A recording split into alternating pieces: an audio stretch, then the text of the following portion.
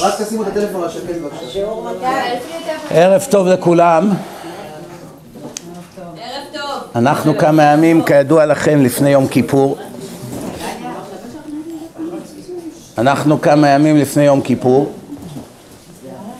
הגמרא אומרת, לא ניתנו ימים טובים לעם ישראל יותר מיום כיפור וט"ו באב. ט"ו באב, יש הרבה שחושבים שזה איזה חג חילוני, יום אהבה, לא יודע, המציאו לזה כל מיני הגדרות.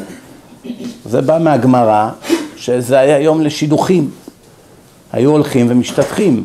היו באים כל הבנים, כל הבנות, הכל בצניעות, בקדושה.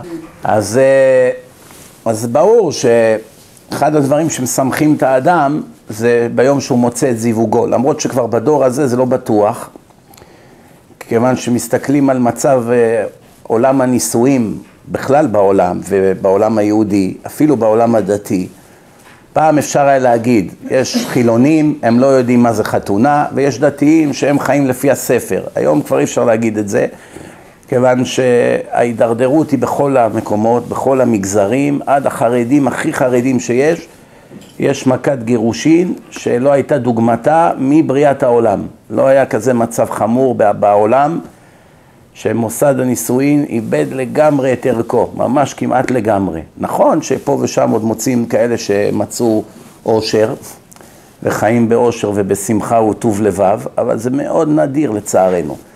היום איך שהעולם נהיה ועם ההפקרות של כל האלקטרוניקה והטכנולוגיה ועל הפתיחות שנהיה ועל חוסר צניעות, על רמת הלימודים של הילדים מהיום שהם מתחנכים בבתי ספר והחומרניות וכל מה שנהיה בעולם, קמו המון אויבים על מוסד הנישואין.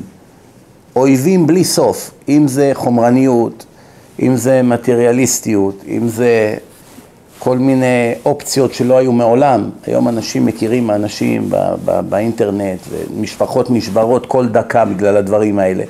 זה דברים שלא היו מעולם. עם כל הטכנולוגיה של הסמארטפונים והפייסבוקים וכל מה שיש היום, זה רק מוסיף עוד רעל לתערובת.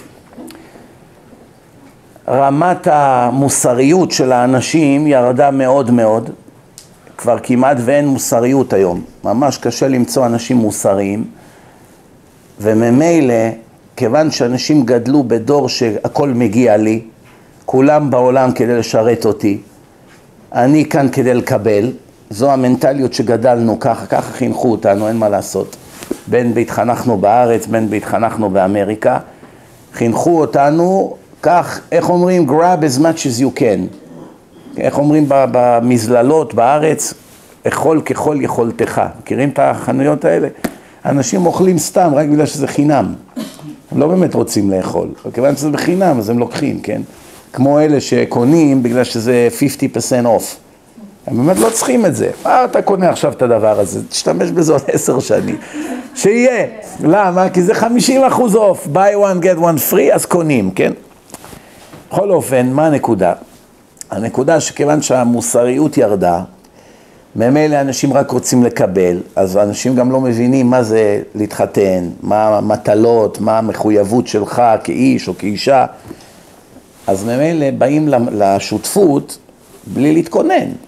אז איך אדם שעכשיו הלך ורוצה להיות מהנדס מחשבים והוא אף פעם לא למד מחשבים, הוא יכול להצליח? אדם שלא נהג, לא למד נהיגה ורוצה להיות נהג מונית, הוא יכול להצליח? כל יומיים הוא יהיה במוסך. תאונה פה, תאונה, הוא לא יודע לנהוג.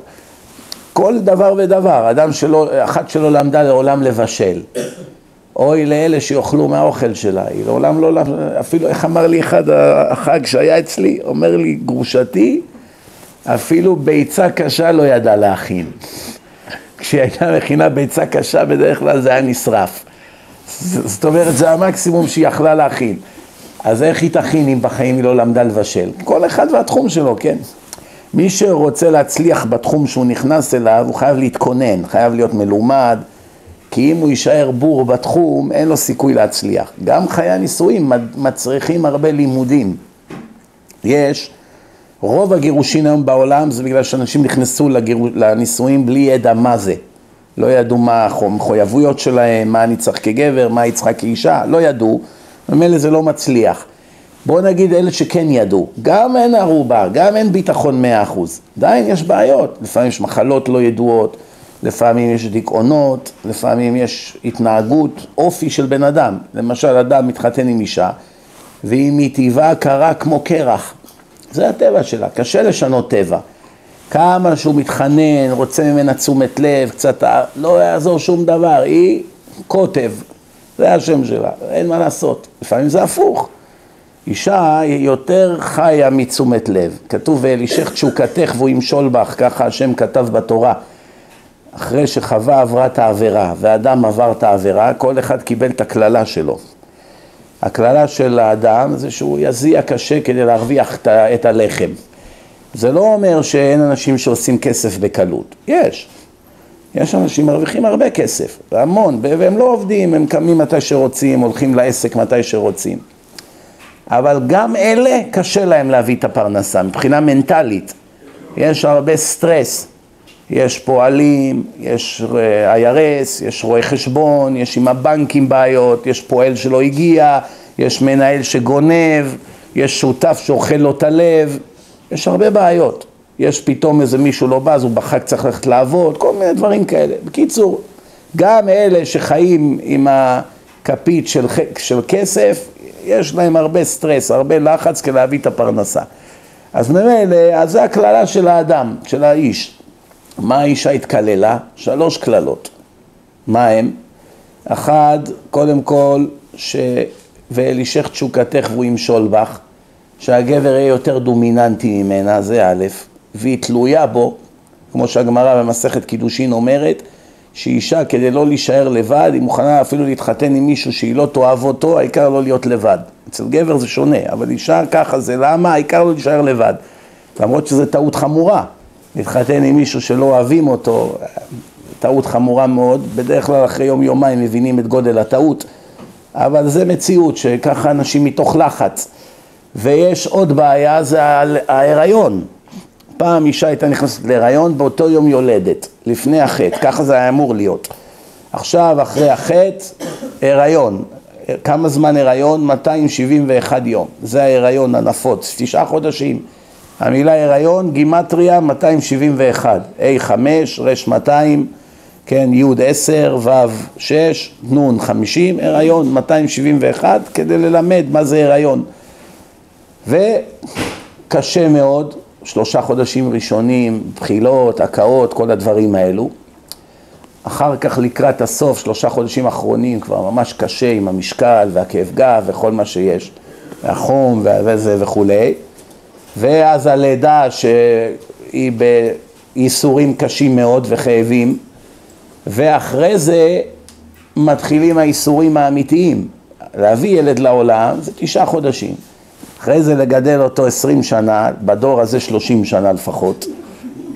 כן, אין מה לעשות, אנשים הולכים ומתמעטים בשכל, אז הם צריכים יותר תשומת לב כמו ילדים, אין מה לעשות. בקיצור, אז היום לגדל ילד בסביבות שלושים שנה, ועמל כבד, והרבה פעמים אחרי כל ההשקעה, הוא בסוף תוקע להורים סכין בגב, ויוצא לתרבות רעה, ואוכל להם את הלב, והורס להם את השם, ומנקה להם את החשבון בנק, ומי עוד, יודע מה עוד, כן? רואים את הדברים האלה, אני מתעסק עם ציבור, אני רואה מה הם אוכלים, מהילדים שלהם אחרי שהשקיעו בהם הון. לא, לא מדבר רק על כסף, מדבר על הרבה עמל ותשומת לב, והשקיעו בחינוך, ולא יודע מה, כל מיני חוגים. בסוף השם ירחם מה יצא להם, ולא תמיד באשמתם. לא תמיד זה אשמתם שיצא הילד ככה. יצחק זה לא היה אשמתו שהיה לו את עשיו. עובדה, היה לו גם את יעקב. זה לא אשמתו, הוא, ידע לחנך, אבל יצא לו עשיו, מה נעשה? אברהם אבינו, היה לו ישמעאל. אברהם אבינו היה צדיק גדול, איך יצא לו כזה פרא אדם? בסדר, הנה מציאות שזה גם יכול לקרות לאנשים גדולים. אז ממילא הימים האלה של ט"ו באב, אנשים היו משתטחים ומקימים משפחה והיו, איך אומרים, מה שהם ייחלו זה מה שבא להם, כן? אבל לא באנו לדבר היום על ט"ו באב. כיוון שאנחנו עכשיו כמה ימים לפני יום הכיפורים, יום הכיפורים זה אחד הימים הטובים ביותר שניתנו מתנה לעם ישראל. מה כל כך מיוחד ביום הכיפורים? הרי ראש השנה זה יום הדין. בראש השנה הקדוש ברוך הוא שופט את כל האנשים בעולם, יהודים, גויים, זכרים, נקבות, כולם, כל העולם נידון. אפילו הבהמות, מי תחיה, מי תמות, המדינות נידונות. כל מדינה ומדינה, למשל סוריה כבר ארבע חמש שנים הורגים שם אחד את השני, כל ראש השנה הקדוש ברוך הוא חותם על זה מחדש, כבר כמה שנים. ראש השנה, הקדוש ברוך הוא רואה מה היה, מחליט עכשיו, השנה זה ימשיך, השנה זה ייגמר. אותו דבר לבנון, אותו דבר בארץ שלנו, כמה ימותו, כמה טרור יהיה, כמה מלחמות, כל מה שאתם רואים, כל זה נגזר בראש השנה האחרון. נכנסנו כבר לשנה חדשה עכשיו, השנה היא שנה מאוד מעניינת, כי התאריך העברי השנה הוא 777. זה השנה, זהו 5,777. זה מספר, שבע זה מספר מיוחד בתורה. לאורך כל התורה רואים שהקדוש ברוך הוא מאוד אוהב את המספר הזה שבע. שבע זה מספר שמסמל את הרוחניות. כל השישה הראשונים זה עולם החומר. שבע זה יציאה מעולם החומר לעולם הרוחני. לכן הקדוש ברוך הוא בחר את יום השביעי להיות שבת. שבת, אותי ביני וביניכם, זה, זה יום רוחני, זה הסכם בין עם ישראל לקדוש ברוך הוא. לא, לא סתם אמרו, וזה כתוב בשולחן ערוך, מחלל שבת הרי הוא כגוי לכל דבר. הדין שלו בשמיים בדיוק כמו או ערבי או נוצרי, לא משנה מה, הוא לא נחשב יהודי בעיני השם. היהדות נקבעת על ידי שמירת השבת. שני דברים, צריך אימא יהודייה, אם אימא שלך לא יהודייה, תשמור את השבת כמה שתרצה, זה לא יעזור לך. קודם כל חייבים אימא יהודייה, כדי שתיכנס בו נשמה יהודית, חייבים אימא יהודייה. האבא לא מעלה ולא מוריד, אבל האימא חייבת להיות יהודייה. אז אם היהודייה, אז הוא כבר יש לו נשמה יהודית. אבל כדי שהנשמה הזאת תחשב ליהודית, ההלכה בשבע מקומות שונים בשולחן ערוך, מחלל שבת, הרי הוא כגוי לכל דבר. זה לא אני כתבתי, זה דברים שקיבלנו בהר סיני. כמו שהתורה אומרת, ושמרו בני ישראל את השבת, לעשות את השבת לדורותם ברית עולם ביני ובין בני ישראל אות היא לעולם. מי מדבר כאן? מי אומר את זה? ביני ובין בני ישראל אותי לעולם, זה בורא עולם, הקדוש ברוך הוא. ביני ובין בני ישראל אותי לעולם, כי ששת ימים עשה השם את השמיים ואת הארץ, וביום השביעי שבת וינפש. ינפש הכוונה לא יצר שום דבר, יצא איך אומרים לנופש. ביום השביעי שבת, שביתה. מה זה שבת? מלשון שביתה, כן? למה השם בחר דווקא את יום השביעי? כי כל דבר חומרי יש לו שישה ממדים, כל דבר חומרי. למשל ספר, הנה, יש לו צפון, דרום, מזרח, מערב, מעלה ומטה. כל דבר, קחו כל דבר שתחזיקו ביד, אפילו אבן, יש לה מעלה, מטה וארבע כיוונים. זאת אומרת, כל דבר חומרי יש לו שישה ממדים. אבל דבר שכבר הוא רוחני, זה יציאה מעולם החומר. זה היום השביעי, זה הממד השביעי, זה יציאה מעולם החומר. שומעים?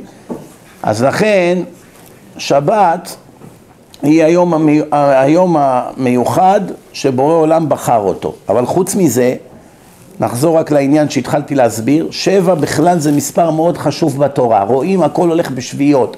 כל שבע שנים שנת שמיטה. הרבה דברים בהלכה, בתורה, זה הכל הולך בשביעיות, שימו לב, תמיד זה הולך בשביעיות. גם מספר הפעמים שמילים מסוימות מופיעות בתורה, זה תמיד הולך בכפולות של שבע.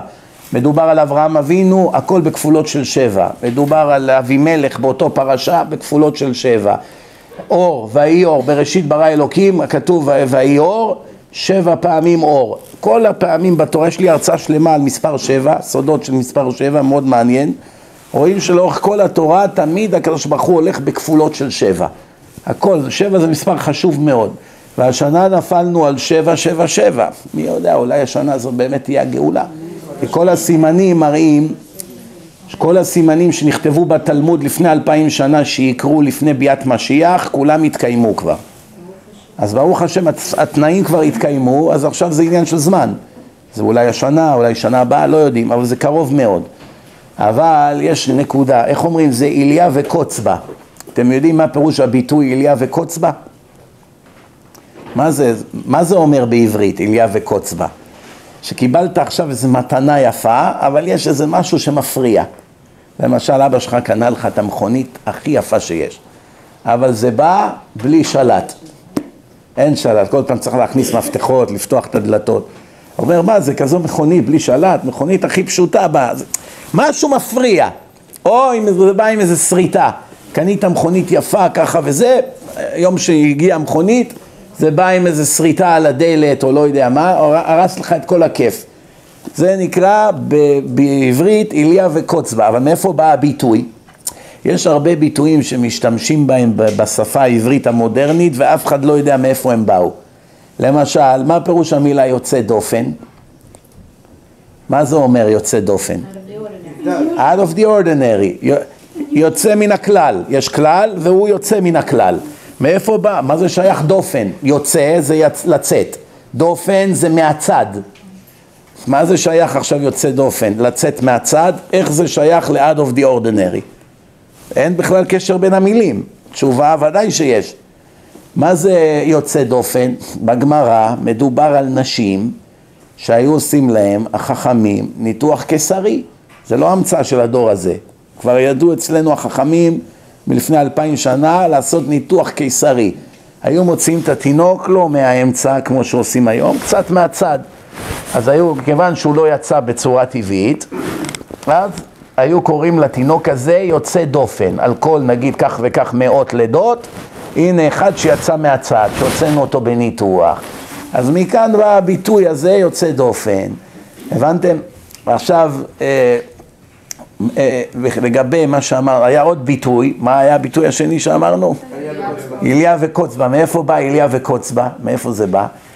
בבהמה יש את החלק הזה, איפה שהטינים של החלב, זה מלא חלק שומני טעים מאוד, זה נקרא איליה. זה חלק מאוד מאוד משובח בפרה. אבל אם נכנס בזה איזה קוץ או איזה דוקרן, משהו, זה הורס את הכל, כי הכל נוזל משם, ואז זה כבר לא שווה הרבה. אז, אז אמנם זה החלק הכי טוב בבהמה למאכל, אבל אם נכנס שם איזה קוץ או משהו, אז זה הרס את כל הטוב שלו. זה נקרא אליה וקוץ בה. אותו דבר כאן. גאולה זה דבר הרבה יותר חשוב מאליה, כן? זה דבר חשוב מאוד, כולנו רוצים להיגאל. רק מה הבעיה? הבעיה שכתוב בנביאים על, על המשיח, כתוב ובא לציון גואל, למי הוא יבוא? מה ההמשך של הפסוק? לשווה פשע ביעקב. המשיח לא בא לכל היהודים בעולם, לצערי הרב, הלוואי שזה היה ככה. המשיח בא רק לאלה ששבו מפשעם נגד השם. איך ייתכן שיהודי יהיה פושע נגד בורא עולם? התשובה היא, לא בגלל שיש לו לב רע. יכול להיות שזה יהודי או יהודייה מאוד נחמדים, כולם אוהבים אותם, הם מקובלים בחברה, הם, אתם יודעים, אנשים מאוד נחמדים, אבל מה? הם עוברים בשיטתיות על חוקי התורה. תורה, הקדוש ברוך הוא נתן לנו בהר סיני לעיני מיליוני עדים לפני שלושת אלפים שלוש מאות שנה. קיבלנו את התורה בהר סיני, במעמד פומבי. מיליונים של יהודים שמעו את השם ואת משה מדברים. זה לא דבר של מה, זה מעולם לא קרה בעולם כזה דבר. אצל הגויים למשל, יש שמונים אלף דתות וכתות. כולם בלוף. כולם התחילו מסיפור של אדם אחד. אף פעם לא היו עדים. לא היו עדים למוחמד, לא היו עדים למרי שהיה לה את החלום, לא היו עדים לבודה, לא היו עדים לקרישנה, לא היה עדים לאף אחד מאלה. והנה הם התחילו דתות, כלומר התחילו דתות בעקבותיהם של מאות מיליוני אנשים ו... ואין אפילו עדות אחת שהדת הזאת אמת. להפך, כשמעיינים בספרים שלהם, המון טעויות מוצאים. והנה התורה שלנו היא הראשונה, אנחנו 900 שנה לפני בודהיזם, לפני בודה. יש מאות מיליוני בודהיסטים בעולם. אנחנו היהודים 900 שנה לפני הבודהיסטים, לפני שבודה חי. הוא חי לפני 2400 שנה, אנחנו התחלנו לפני 3300 שנה.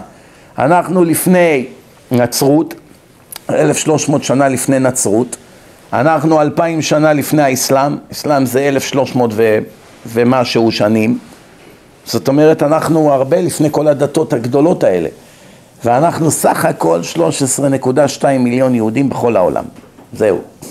ומתוך ה-13.2 מיליון, רק שני מיליון שומרי שבת, בכל העולם, זהו.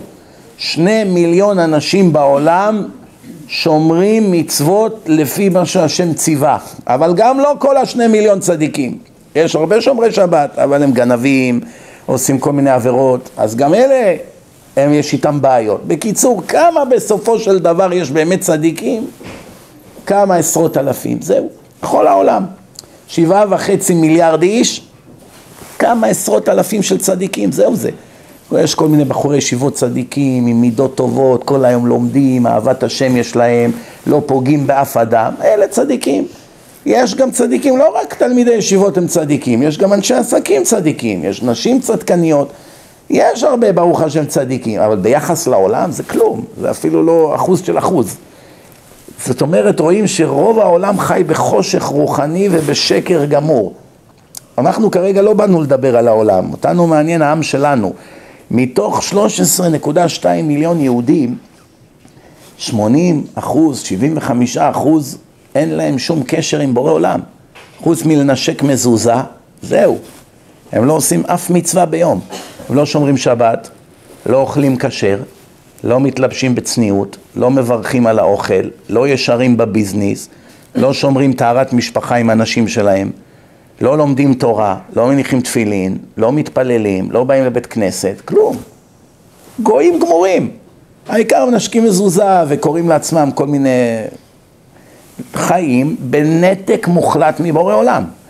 פירוש, 70, 80, 90 שנה הם חיים פה בעולם ואפילו לא דקה בחיים שלהם הם הגשימו את תכלית חייהם.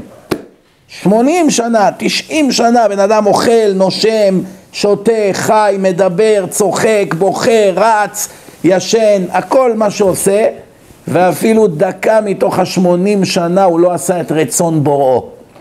חמצן, הוא קיבל ממנו שמונים שנה. מים, קיבל ממנו שמונים שנה. אוכל, קיבל ממנו שמונים שנה. מקום לגור, קיבל. אישה, ילדים, אה, כל מיני הנאות החיים, הכל הוא קיבל. לקח את הכל והשתמש בזה להכעיס את בורא עולם כל רגע בחייו.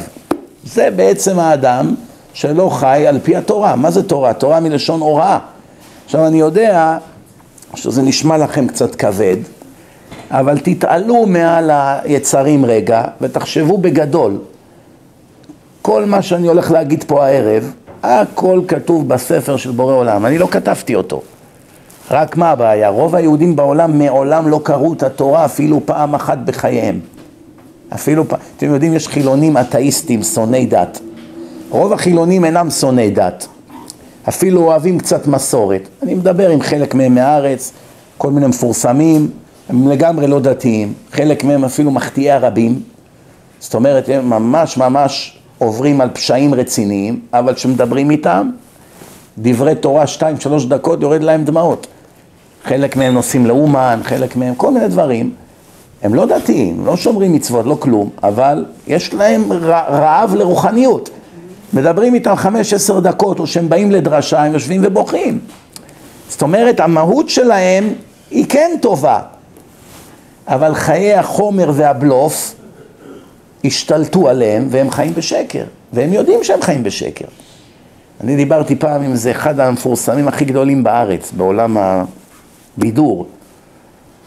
דיברתי איתו כמה דקות, והוא, איך אומרים, אין, אין אחד שבמעשים שלו יותר רחוק מהשם מאשר הבן אדם הזה. מאוד מאוד רחוק בהתנהגויות שלו, בדברים שהוא עושה. אחרי שדיברתי איתו, הוא שם בדף פייסבוק שלו כמה שעות אחרי, ממש שיעור תורה. כתב, יש לי הכל ואין לי כלום.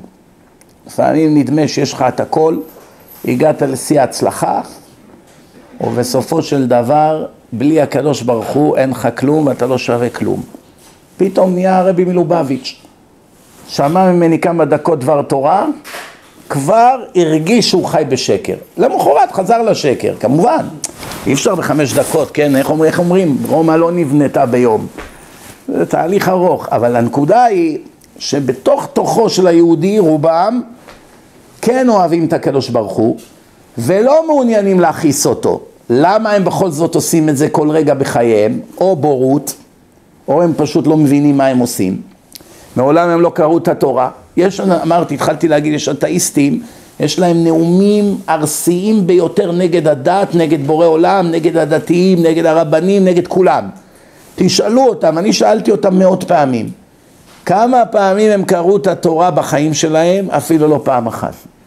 הם לא קראו אפילו את התורה, לא מבינים את ההבנה הבסיסית של ילדים בגיל חמש, בעולם החרדי כבר יודעים, או שש, הם לא קראו פעם אחת כל החיים שלהם, הוא בן 40, 50, 60, מדבר, כל, כל החיים שלו הוא נגד הדת, בסוף שאומרים לו, תגיד, אתה כל כך שונא את התורה, קראת אותה פעם אחת? מה התשובה? לא. שמעתי קצת פה, שמעתי קצת שם. הוא כבר גיבש דעה על ההתנהגות של הדתיים. הוא ראה איזה כמה דתיים מעצבנים, הוא החליט שהדת מעצבנת. הוא ראה כמה דתיים מזויפים, החליט שהקדוש ברוך הוא לא בשבילו. מה זה שייך זה לזה? כאן באמריקה יש ספר חוקים. יש איזה אחד מרמה במיסים, יש אחד רוצח, יש אחד אנס. האם זה אומר שבגלל שיש כאלה אנשים זו החוקה? אם עכשיו יתפסו אדם שאנס, ישאלו אותו למה אנסת, הוא אומר ראיתי אחד שעובד בממשלה שהוא בעצמו אנס. אז אם הוא זה שמייצג את החוק והוא עושה כאלה דברים, אז גם אני אעשה. אז יגיד לו, טיפש, אדרבה, בגלל שיש אחד מזויף כזה, מה אתה גם כן באת להיות מזויף? הפוך, היית צריך להיגאל ממנו ולהיזהר איך לא להיות. אם ראית עכשיו מזויף, גידל זקן, לא יודע מה, ועושה דברים לא כהוגן, זה, אבל בתורה כתוב שצריך לעשות הפוך. התורה מזהירה. מה, אתם חושבים שההבדלים בעונשים בין דתיים לחילונים בכלל יש הבדל? אם כבר הדתיים מקבלים עונש יותר חמור מהחילונים, למה דתי מקבל עונש יותר גרוע מחילוני? אם חילוני עכשיו דיבר לשון הרע, הוא מקבל על זה עונש חמור. כל הלשון הרע שהוא מדבר, הוא יקבל על הכל עונש חמור. אבל הדתי שמדבר לשון הרע מקבל עונש כפול. למה? מה זה, איפה ואיפה? הוא יודע מה, הוא למד את זה. אחד שלמד משפטים והוא פושע, ואחד שלא למד משפטים והוא פושע, למי מגיע עונש יותר חמור? זה שלמד. זה שלמד משפטים. מה, למדת את כל החוקה, היית חמש שנים בלואו סקול, ובסוף אתה מתנהג כמו איזה פרחח מהשכונה? מילא לא למדת כלום, בסדר, לא מצפים ממך להרבה, כן? מובן, כן? גם השופטים בבתי משפט, הם יודעים תמיד להבדיל על פי הרקע של האדם, רואים מאיפה הוא בא, איזה ידע היה לו. לפעמים השופט רואה שבאמת הבן אדם עשה את זה בתמימות, הוא לא באמת התכוון לפשוע, הוא מתחשב בזה בדין, הוא מתחשב. אבל אם יודעים שהוא התכוון לפשוע, נותנים לו את מלוא חומרת העונש. אז התחלתי להסביר. ראש השנה הוא יום הדין. היום הרת עולם, היום יעמיד במשפט כל יצורי עולם. כל מי שנוצר בעולם עומד למשפט, יהודים וגויים. עכשיו, מה פירוש היום הרת עולם? מלשון הריון, כמו אישה שהרתה, הרתה, היום הרת עולם, היום, היום העולם התחיל. למה היום? כי באלף בתשרי, הקדוש ברוך הוא יצר את האדם הראשון. כ"ה באלול נברא העולם, שישה ימים לאחר מכן נברא האדם וחווה שיצאה ממנו, מה-DNA של האדם הראשון, הקדוש ברוך הוא עשה את חווה. למה הקדוש ברוך הוא לא עשה את חווה יצור בפני עצמו? למה חווה, אדם הראשון הוא יש מאין. אתם שמעתם פעם את הביטוי יש מאין? לא היה... לא היה כלום, ועכשיו הקדוש ברוך הוא יצר את חווה מתוך ה-DNA של אדם. אם הם היו דבוקים או לא, יש מדרש כזה, אבל בכל מקרה זה ברור לכל הדעות שהיא נבראתה מצלעו, זה כתוב פסוק מפורש, שהקדוש ברוך הוא הפיל תרדמה על האדם, ומהצלע שלו, מה פירוש מה-DNA שלו, יצר את חווה. שאלה, למה חווה לא נוצרה בפני עצמה? כדי ללמד את הנשים שפמיניזם זה נגד רצון הבורא. יש לאישה הרבה זכויות, לא חסר לה ברוך השם, שהיא מתחתנת היא מקבלת כתובה, היא מבוטחת, היא הראשונה שגובה את התשלום, אם הם מתגרשים, הראשונה שמקבלת את זה זה היא, לפני הילדים. לפני הממשלה, לפני הילדים, לפני הנושים, הכתובה של האישה קודמת לכולם. רואים שהקדוש ברוך הוא הגן על אנשים. דבר שני, כשגבר מתחתן עם אשתו הוא צריך לחתום לה בכתובה כמה דברים. אם במקרה ולא ידעתם, אז אני מגלה לכם. א', לתת לה מקום מכובד לגור, לפי יכולתו. אם הוא מיליארדר, הוא לא שם אותה בצריף, כן? שם אותה בבית יפה. ואם הוא עני, נו, שניהם ייהנו מהצריף. אבל זה מה יש. ולתת לה את כל מזונותיה, כל מה שהיא צריכה, אוכל, מצרכים, כל מה שהיא צריכה, כולל תכשיטים בחגים והכל, גם כן לפי היכולת. חייב לתת לה כל הבגדים ללבוש, וחייב לתת לה יחסי אישות, לפי הצורך שלה. יש נשים שצריכות הרבה, יש נשים שצריכות מעט, כל אישה והטבע שלה. ואם הוא לא מקיים את זה, אז על זה הוא עובר איסור מהתורה, זה בדיוק כמו שלא הניח תפילין. בדיוק אותו דבר. בתורה שאתה עושה כל זה לאישור. ודאי, מה, הבנתם? או, תמיד יש פעם ראשונה. אז בכל מקרה, זה מה שכתוב בכתובה, תפתחו את הכתובות שלכם, תראו. לזון אותה, לפרנס אותה. 50 שנה והיום חוק הוא שונה. איך אומרים, אחרי חמישי... לא, החוק של, השונה, של התורה הוא תמיד היה אותו דבר. אותם צרכים יש לאנשים היום, מאשר, כמו שהיה להם לפני אלפיים שנה, כן? לא הכתובה, הכתובה היא לא מהיום התחילה, זה כבר אלפיים שנה כותבים כתובות. בגמרא יש מסכת כתובות, מה? זה נותנים לאנשים כתובות הרבה הרבה שנים, ושום דבר בכתובה לא השתנה. אות לא השתנתה, אותה כתובה. אישה הייתה צריכה יחסי אישות גם לפני אלפיים שנה, לא היום, העולם לא השתנה. היום העולם לצערנו הרב מתקלקל בהרבה תחומים, אבל הצרכים הבסיסיים של האנשים הם אותם צרכים. אדם צריך לאכול, כן, צריך לשתות, כן, צריך בגד ללבוש, כן, צריך מקום נורמלי לגור, כן, וצריך יחסי אישות, זה חלק מהאישיות שלו, בלי זה הוא מתנוון, לכן זה חלק מחיי הנישואים. זה מה שאני תמיד מדריך חתנים ו- וכלות, כאילו, כלומר לפני שהם משתדכים, שאחד הדברים החשובים ביותר, לפני שאתה משתדך עם בחורה או עם בחור, קודם כל דבר ראשון שצריכים לבדוק זה אם אוהבים אחד את השני מבחינת מראה. לפני שנכנסים צדיק, צדקת, מידות טובות, כל זה כמובן חשוב מאוד, אבל לפני שבודקים משפחה וכסף ומעמד ובריאות, כל הדברים שצריכים לבדוק, דבר ראשון, יש קימיה או לא? היא מוצאת חן בעיניך בתור אישה, או הוא מוצא חן בעינייך בתור גבר. אם אין את זה, אין על מה לדבר בכלל. אבל היא הצדקת הכי גדולה בעיר. שתהיה בריאה, שתתחתן עם אברהם אבינו. צדקת הכי גדולה, בסדר, יפה מאוד שהיא צדקת, זה התכלית של החיים, להיות צדיקים. היא צדקת, אבל היא לא בנויה להיות אשתך. למה? כי היא לא, היא לא הטעם שלך. ולפעמים הפוך, הוא צדיק הכי מתמיד בישיבה. בסדר, אני לא עכשיו בא לשרת צדיק. כשאני אהיה בת 60, אני אתנדב לשרת צדיק. בינתיים, אני יש לי, אני בת 20, אני רוצה להתחתן, אני, אני רוצה מישהו שיהיה לי כיף להיות איתו, שיהיה על מה לדבר, שיהיה כימיה בינינו, מה, סתם להיות roommates? roommate עם צדיק? זה לא מה שחתונה צריכה להיות. קודם כל את זה בודקים. עכשיו, בהנחה וזה מתאים, אז צריכים לבדוק כמובן מידות, דרך ארץ, נקיות, צורת ההתנהגות, משפחה, התמדה, חריצות, כל הדברים האלה, נדיבות, יש הרבה דברים שצריכים לבדוק. ואצל אישה הכי חשוב כמובן הצניעות. צניעות, אבל צניעות אמיתית, יש היום בחורות, הן באמת חזרו בתשובה, הן שומרות שבת, הן קוראות תהילים, הן אוכלות כשר, הן אפילו כבר לובשות שמלות וכל מיני חולצות עם שרוולים ארוכים, אבל בתכלס הן לא באמת צנועות, הן לא מקפידות בצניעות. א', בפומבי הן יותר מדי רעשניות. כתוב אה, שבת ישראל היא צריכה להיות מופנמת, מה הפירוש? היא צריכה להיות יפה לבעלה, הוא עולמה, היא עולמו, והיא לא צריכה עכשיו להיות רכוש של החברה, לא בטלוויזיות, לא בפרסומות, לא יודע, בכל המקומות האלה. זה לא תפקידה של האישה היהודייה. אלוקים שונא חוסר צניעות. אלוקים שונא זימה. כתוב בתורה פסוק, וראה בך ערוות דבר ושב מאחריך. מה הפירוש? כתוב, והיה מחנך קדוש, קדושים תהיו כי קדוש אני. כמו שאני קדוש, אתם חייבים להיות קדושים. איך אתם קדושים? פרושים מאריות. לא עושים עבירות מין, ולא רק זה, מה זה ערווה? כל מקום בגוף האישה שעל פי ההלכה חייב להיות מכוסה והוא גלוי, זה נקרא ערווה. אסור לברך או לעשות קריאת שמע כשהאיברים האלה גלויים לעיניו של הגבר. גבר עכשיו, לפעמים אתם רואים רבנים, הם באים לחתונות לסדר קידושין, הם לא מרימים את הראש. הכלה היא באה עם בגד ים לחופה. אז איך הוא ירים את הראש? אז הוא מסכן, ככה הוא בא, הוא אומר את כל מה שזה, כבר נהיה לו כאב צוואר. שבועיים אחרי זה הוא לא יכול להזיז את ה... למה?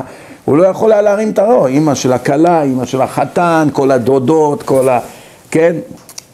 הוא גם בכלל מרגיש שהוא בתוך הדיוטי פרי עם כל הריחות שם, וכל הספרי וזה, ו- ו- וכל הצבעים, מכל ה... מכל ה... מכל הבא ליד, אז את הראש הוא לא יכול להרים, כי הוא לא יכול להגיד את הברכות. ולהרים את הראש ולסגור להם את העיניים, גם כן יותר מדי שקוף, לא נעים. מה, אתם לא רוצים להסתכל עלינו? הם עוד יחשבו שיש לו משהו אישי נגדם. אז ממילא הוא, הוא בא, הוא מסדר צ'יק צ'ק את הקידושים ובורח. מה נעשה? צריכים לחתן גם את החילונים, אין מה לעשות. לא יחתנו אותם, אז הם יביאו ילדים בלי חתונה, העולם יהיה תוהו ובוהו, כן? אז ממילא, מה רואים מכאן? שכל מקום שיש בו חוסר צניעות, אלוקים בורח משם. לכן לדוגמה, יש נשים באות להדליק נרות של שבת, רוצות לעשות מצווה. סדרות הנרות, הכל, שמן, פתיליה, הכל וכולי, אבל מה, שרוולים קצרים, או הכל כאן פתוח, או מיני קצר, או טייץ קצר, או לא יודע מה. לא מתקבלת בכלל הברכה, אין שכינה בבית, מה את מבזבזת את הזמן? אלוקים לא יכול להיכנס בבית הזה, אין שם צניעות, זהו, זה לא, אלוקים הוא לא חבר כנסת. חבר כנסת יבוא לבית, תכיני צ'ק, הוא בא, אל תדאגי. אין מה לדאוג, אבל אלוקים זה לא ככה, אצל אלוקים הקדושה זה הדבר בשיא המעלה.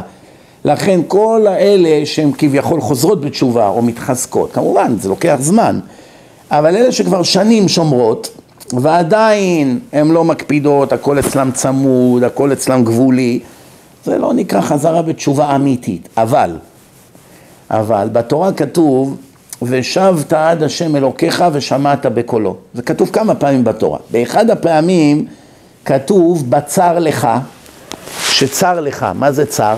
שאתה במצור. איך אומרים? אני סוגר עליך. איסורים, בנקרפסי, פרנסה כבר לא מה שהיה, איזה מחלה לא עלינו, מתיחות בבית, צרות עם הילדים, צרות עם ההורים, לא יודע מה. יש הרבה... נכון, נכון, נכון, ודאי, גם אצל הדתיים. גם, גם הדתיים, גם הדתיים חייבים לחזור בתשובה כל יום. התשובה היא לא רק לחילונים. אתם שומעים? הדתיים והחילונים, כולם חייבים לחזור בתשובה, לא רק החילונים. הדתיים בעצמם, אמרתי, הדתיים נענשים יותר קשה מהחילונים, כי מהם השם מצפה ליותר, כי הם למדו דת. אני יכולה להגיד משהו? כן. אני חושבת שמי שנענש, אין לזה קשר להיות דתי או לא דתי. תעשה דברים רעים, תקבל רע, זה כבר קרמה. בדיוק. אני רואה את החיים בנקודה... תעשה דברים רעים, תקבל רע ממי? מהעצים? מהירח? מי מתקבל רע? מי שולח את הרע? הקדוש ברוך הוא. או, זהו. אנחנו אומרים אותו דבר. בשבילך, בשבילי זה קרמה. מה זה קרמה? מ- מאיפה באה המילה הזאת קרמה? אה, לא יודעת. מילה הודית. מילה הודית. כן, של עובדי אלילים. את מעדיפה להשתמש במילה הזאת? בבקשה. אני מעדיף להשתמש מה שאלוקים אמר בתורה שהוא נתן לנו ולימד אותנו איך הוא ברא את העולם והקדוש ברוך הוא אמר, ישמר לך פן תשכח את השם אלוקיך וכתוב אם בחוקותיי תלכו, אז יש ברכות שבאות אחרי זה ואם בחוקותיי לא תלכו, יש רשימה של עונשים זאת אומרת העונשים באים אך ורק מהשם ומשום דבר אחר לא שום דבר אחר, אך ורק מבורא עולם. אדם שהוא חולה זה מבורא עולם. אבל בורא עולם אין לו איזה רולטה שהיום הוא במצב רוח לא טוב, הוא מסובב אותה ונפל על איציק. זה לא עובד ככה. אלא בראש השנה בוחנים את כל מה שעשית בשנה האחרונה פלוס כל שאר החיים שלך. לפעמים זה גם דברים מגלגולים שעברו. כן. לפעמים יש מגלגולים שעברו. זאת אומרת, הרבה פעמים אדם הוא צדיק בחיים האלה. הוא לא עושה עבירות, הוא בן אדם טוב, באמת בן אדם טוב, לא בלוף, יש כאלה הם נראים טובים, אבל הם לא טובים, אבל יש כאלה הם באמת טובים, ממש טובים, שומרים מצוות, בין אדם לחברו, אנשי חסד, אנשים ישרים, אין להם אויב, אין לאנשים האלה אויב, למה הם לא גרמו לשום אדם לא לאהוב אותם, והנה פתאום שומעים בגיל אני יודע מה 40 יש לו את המחלה, אז כולם מתפלאים, אומרים רגע מה זה, מילא אדם רע, אכזר, גנב, שודד, רוצח, בסדר, מאפיונר, מבינים, מבינים לפחות, אפשר להבין מאיפה זה בא, אבל למה הנחמד הזה גם קיבל כזה עונש, נכון? אני מכירה... למה ילדים? כן, לא- או, למה ילדים? או, אז למה ילדים למשל, למשל ילדים, מה ילד חטא שפתאום בא לו כל מיני מכות ומחלות וזה, אלא החיים בעולם הזה זה הכל גלגולים. הנשמה חוזרת בגוף חדש, אבל הנשמה היא מביאה איתה מטען מה, מהגלגול שעבר. הרבה פעמים בן אדם נולד לעולם הזה כדי לעבור כאן תיקון, מה פירוש? הוא יחיה תקופה מסוימת, הוא יעבור כך וכך איסורים מסוימים, וכל זה אך ורק מהחיים הקודמים שלו, שום דבר לא מהחיים האלה, בחיים האלה הוא לא גרם לשום בעיה, אבל זה הכל על מה שהוא היה, אולי, היה רוצח, אולי היה שודד, אולי היה אכזר, היו לו מילות לא טובות, פגע באנשים, עכשיו מגלגלים אותו והוא אוכל בדיוק את מה שהוא עשה לאנשים, כי כל עונשיו של הקדוש ברוך הוא, הכל מידה כנגד מידה, זו הנוסחה, נוסחה מתמטית. אין סתם עונש, זה לא שופט בבית המשפט לפי המצב רוח שלו החליט שבע שנים, חודש אחרי בדיוק אותו מקרה החליט תשע שנים. תלוי, הוא עכשיו קצת יותר עצבני, נמאס לו, הרביץ לו עוד שנתיים. זה לא עובד ככה אצל הקדוש ברוך הוא. אצל הקדוש ברוך הוא הכל כחוט השערה, הכל מחושב לפי כל הגלגולים, לפי שורש הנשמה, לפי הרמה של הנשמה, לפי החינוך שקיבלת, מי היו הוריך, כמה אחים גדלת בבית, מה מצבך הכלכלי, מה מצבך השכלי, הכל הקדוש ברוך הוא מחשב. ואז שצריך אדם לקבל טוב או רע, יודעים שזה בדיוק מה שמגיע לאדם. גם שלעינינו נראה שלא מגיע. לא מגיע לו טוב או לא מגיע לו רע, ככה זה לעינינו, כי אנחנו בקושי יודעים אחוז מהאדם הזה. הקדוש ברוך הוא יודע את הכל, את כל התמונה. לכן, קודם כל, הרבה מהדתיים שאמרתם שהם סובלים, הם לא בכלל דתיים, הרבה מהם. הרבה מהם לא דתיים. הנה, חבר שלי הלך לאיזה, לאיזה מושב דתי, איזו שכונה דתית, לא מושב, בלי להגיד שמות, הלך לשם להתארח אצל אחותו, היא גרה שם. זה מה שנקרא, היו שם הרבה כאלה דתיים לאומים, לא חרדים, אבל דתיים לאומים. אומר שאחרי התפילה בשבת, התפללו, הכל כרגיל, הולכים לבריכה השכונתית, גברים ונשים בתוך המים ביחד, כולם ערומים. אז הוא שאל את אחותו, מה זה, איך זה יכול להיות? מה, אנשים עם כיפה על הזה ככה מתנהגים עוד בשבת? מה היא אומרת? היא אומרת, אנחנו, המים זה חציצה. אומר לה, מה השטויות האלה? מים זה? מה, אנשים לא יוצאים מהמים, מסתובבים על שפת הבריכה? איזה שטויות אלה? אז מה הם אמרו? בסוף, אחרי שהתפתלו וזה, וניסו למצוא תירוץ, בסוף ענו לה, ענו לו, אמרו, אה, אנחנו לא מתרגשים מזה. בחורות ככה עם בגד ים, לא, אף אחד פה לא מתרגש, למה? כולם יש להם טלוויזיות בבית, כל היום רואים תועבה, כבר לא מרגש אותם בכלל. חרדי, שנייה אחת מסתכל על זה, אין לו טלוויזיה, אין לו מחשב, אין לו אינטרנט, שנייה אחת הוא יעמוד חוף הים או שפת הבריכה, הוא יתעלף. אבל אלה כבר חיים בתוך הזוהמה 30-40 שנה, לא מתרגשים בכלל. וזה נכון, רואים את זה במציאות, מה? לא מרגש אותם בכלל. אז הנה לך דוגמה, עכשיו עם אחד כזה עם כיפה, שרואים אותו הולך לבית כנסת כל בוקר, חושבים איזה צדיק, והוא עובר על העבירות הכי חמורות בתורה. אז את רואה שלא כולם באמת צדיקים. כמובן אני לא אומר שמות, לכן אנחנו לא יודעים על מי אני מדבר, רק לעצם הבנת העניין. זה דבר אחד. דבר שני, עוד צריכים להבין רבותיי, בתורה כתוב שחייבים לשמוע בקול השם, לאהבה את השם אלוקיך ויראת מהשם אלוקיך ושמעת בקולו, יש הרבה פסוקים כאלה, לדבקה בהשם אלוקיך כי הוא הנותן לך כוח לעשות חיל, ישמר לך פן תשכח את השם אלוקיך. למשל אמרתם לפעמים יש אנשים שהם רשעים והם חוגגים פה בעולם הזה מכוניות פאר, בתים יפים, פרנסה, אישה, ילדים, אני יודע מה, איזה כוכב קולנוע, מה, כולם הרי מקנאים בו, לא? אז אני אגיד לך, הנה, אני אגיד לך מה השם אמר על האנשים האלה בתורה, ותראי שאין מה לקנות בהם. בתורה בסוף פרשת ואתחנן כתוב, אני אלקנה משלם לרשע אל פניו לעבידו. לא האחר לשלם לו, אל פניו אשלם לו לעבידו. את הכמה מצוות שהוא שומר, אותו רשע, הרי אין אחד שלא עושה מצוות. מספיק שיום בשנה הוא צם בכיפור, זה כבר מצווה גדולה. מספיק שיש לו מזוזות בבית, זה מצווה גדולה. אבל יש גם מצוות שזה אדם לחברו. נכון, גם אלה מצוות. גם אלה. מצוות. למשל עזר לחבר, חבר נתקע עם הרכב, הוא הלך עם כבלים, הניע לו, שש בבוקר, לא... זה גם חסד. למרות שרוב המצוות שהרשעים עושים, זה הכל בשביל אינטרס. אם יצא לי מזה משהו, הוא עושה, אם לא הוא ממציא שקר, איזה תירוץ, אני לא יכול, אני חולה, אני לא, אני לא במדינה, אני חוץ לארץ, אני זה, כי לא יצא לו מזה כלום, אז הוא לא מוכן. יש גם אנשים טובים שעושים בלי, בלי לקבל תמורה. נגיד יש אחד שיגיד לו בוא תשלים מניין, והוא בכלל לא, לא, הוא לא מתפלל, לא בשבילו, אבל הוא מרחם עליהם, נתקעו בלי מניין, אז הוא ייכנס, יתפלל, הוא לא מאמין בזה.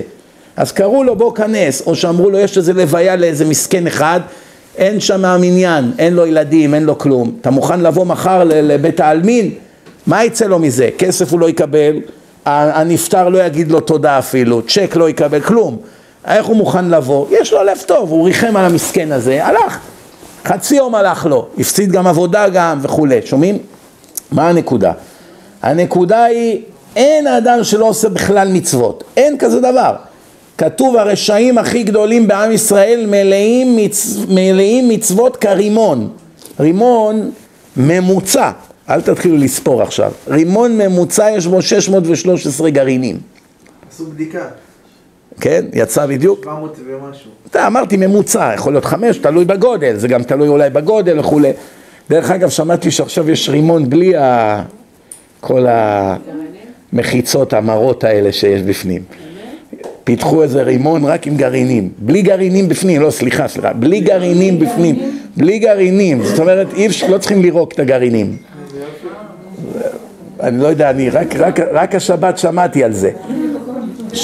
טוב, נתקדם, שומעים? אז, אז אין כזה דבר שלא יעשו מצוות פה ושם, כן? אז הוא עדיין יהודי טוב. אז לא, אז תראי, אני אגיד לך מה, הוא יהודי טוב או לא? רחוק מלהיות טוב. כי אדם שעושה, איפה אהבת ישראל, ממש. אני אגיד לכם, אני- לא, אני אגיד, אני אגיד לכם, אני אגיד לכם, אני אומר מה שכתוב בתורה, אתם לא חייבים להסכים איתי. תשאלו אותי איפה זה כתוב, אני אראה לכם, אבל לכעוס אין לכם מה, כי הכעס שלכם, לא? הכעס שלכם הוא כלפי בורא עולם. יש כ... אז הוא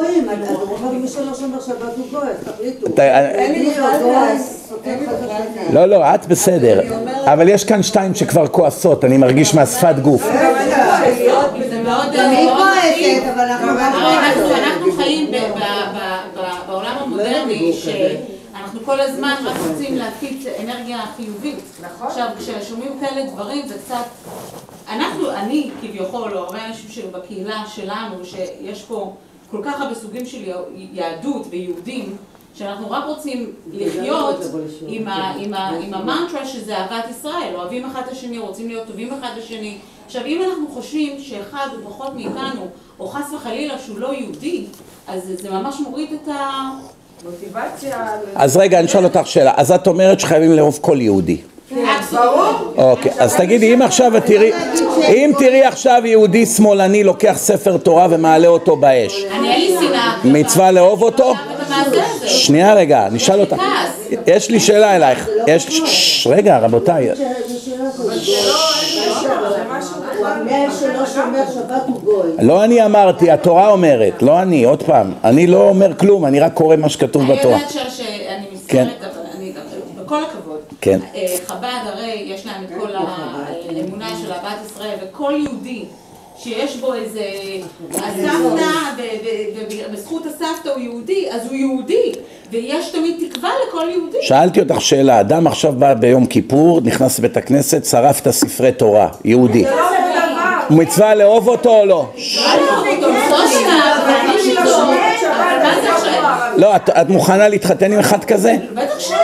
או, את מוכנה שהילדה שלך תתחתן איתו? 95 שאחוז? רגע, רגע, הבת שלך אומרת שהיא רוצה להתחתן איתו, את מוכנה או לא? רגע, רגע, את אומרת שמצווה לאהוב אותו, למה לא? זה מצווה לאהוב כל יהודי. אז למה שלא תתחתן איתו? מצווה לאהוב אותו. לכל יהודי יש תקווה לחזור בתשובה, נכון? רגע, רגע, בסדר. אולי יום אחד הוא יהיה צדיק, כרגע מה הוא? כרגע מה הוא? כרגע הוא יכול להיות או חב"דניקים לא בן אדם שאין לו השכלה או שהוא בור הארץ, כן. או הוא רשע. אוקיי, עכשיו אדם שרוצח למחייתו, כל יום הולך, יורה לאיזה מישהו בראש, הורג אותו. מצווה לאכול... נותן, אה. רגע, רגע, רגע, את אמרת, את תעמדי מאחרי מה שאת אמרת. את אמרת מצווה לאהוב כל יהודי. יש הרבה יהודים רוצחים היום בעולם, שרוצחים יום יום, מאפיונרים, כל מיני כנופיות של פשע. רגע, רגע, רגע, רגע, שנייה.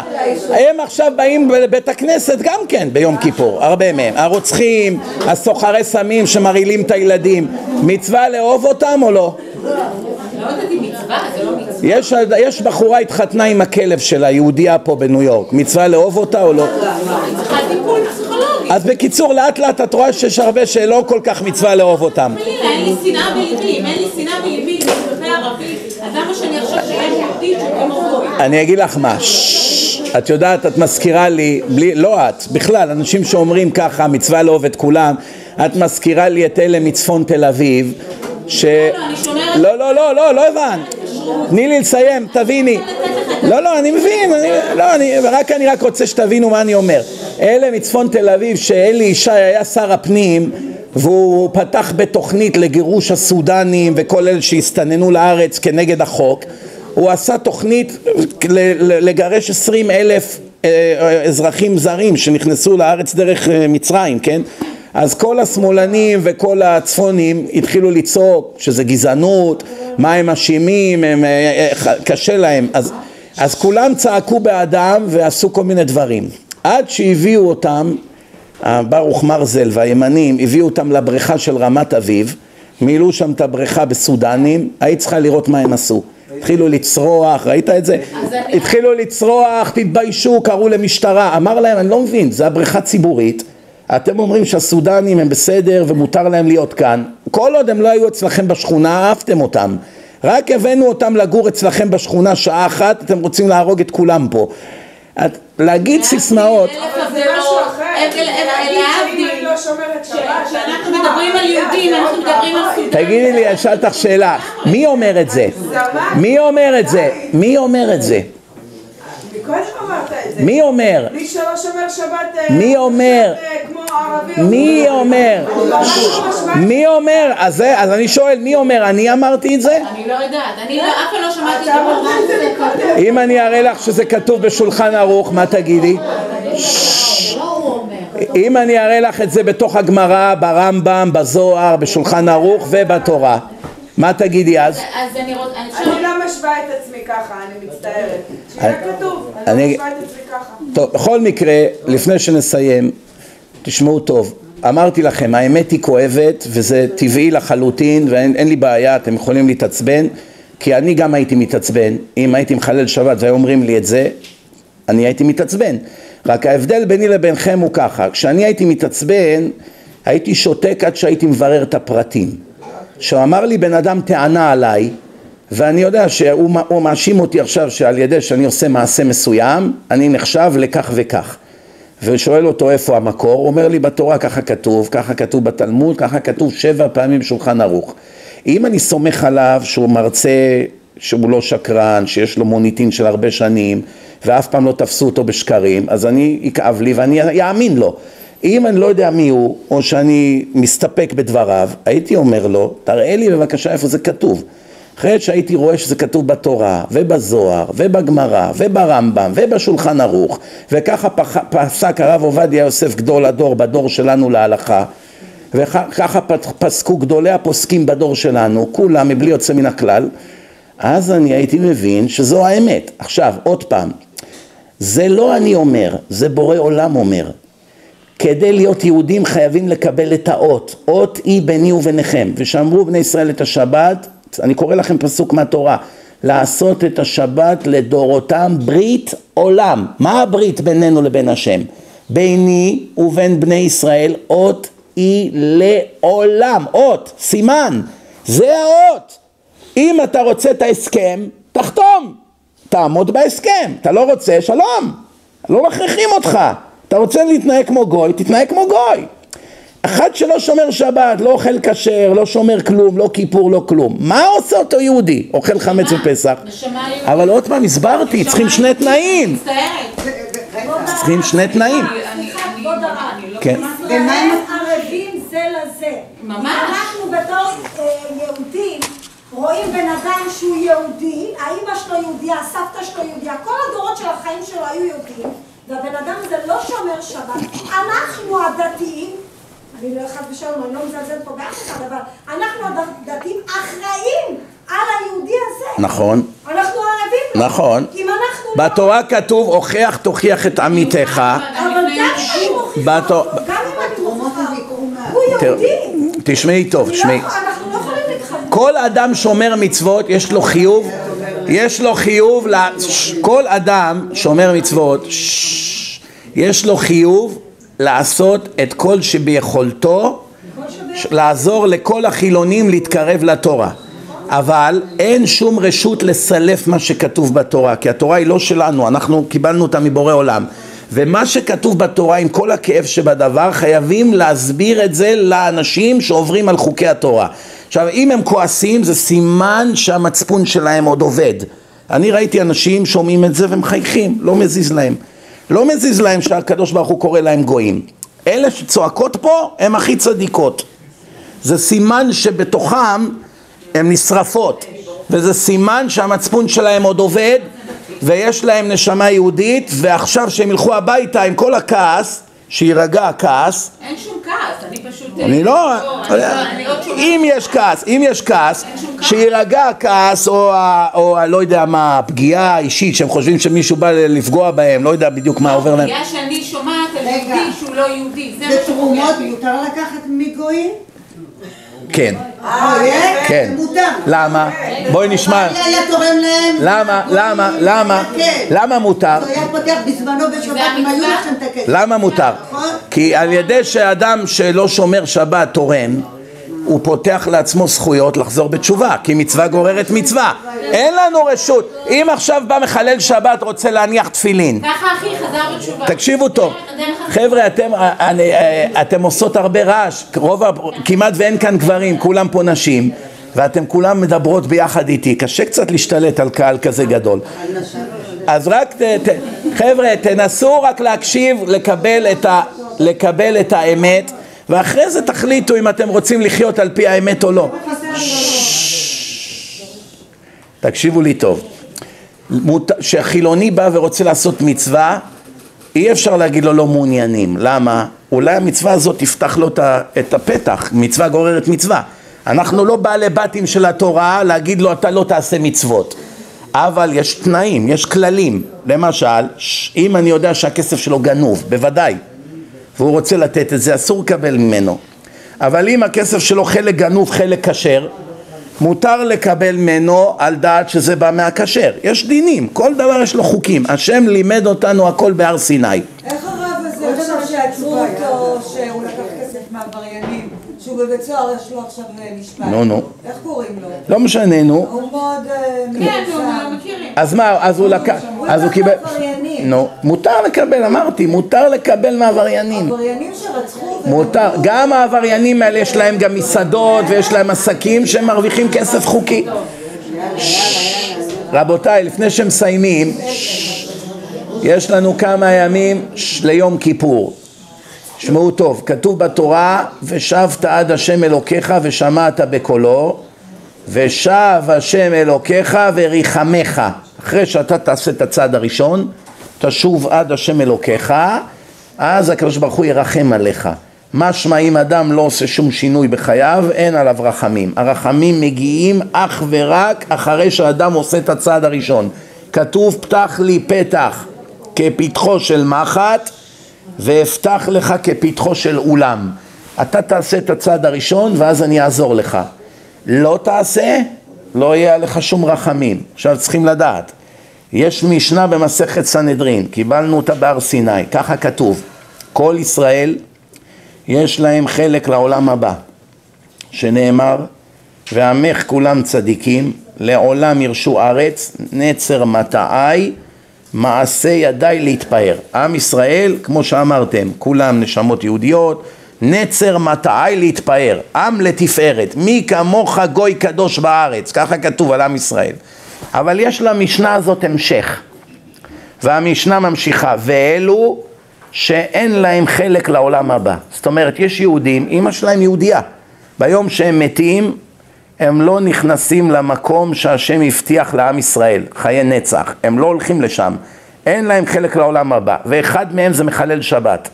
שכתוב עליו ונכרתה הנפש ההיא מישראל, פסוק בתורה, אני לא כתבתי את התורה, אין לכם מה לכעוס עליי, אני רק קורא לכם, אתם לא, לא מאמינות, תלכו ותקראו. דברים אחרים יותר מעניינים. אה, האמת כואבת, בטח. לא, האמת לא כואבת. למה לא? אתה יודע זה מה, לא- אני זה לא- קוראה ספרים כן.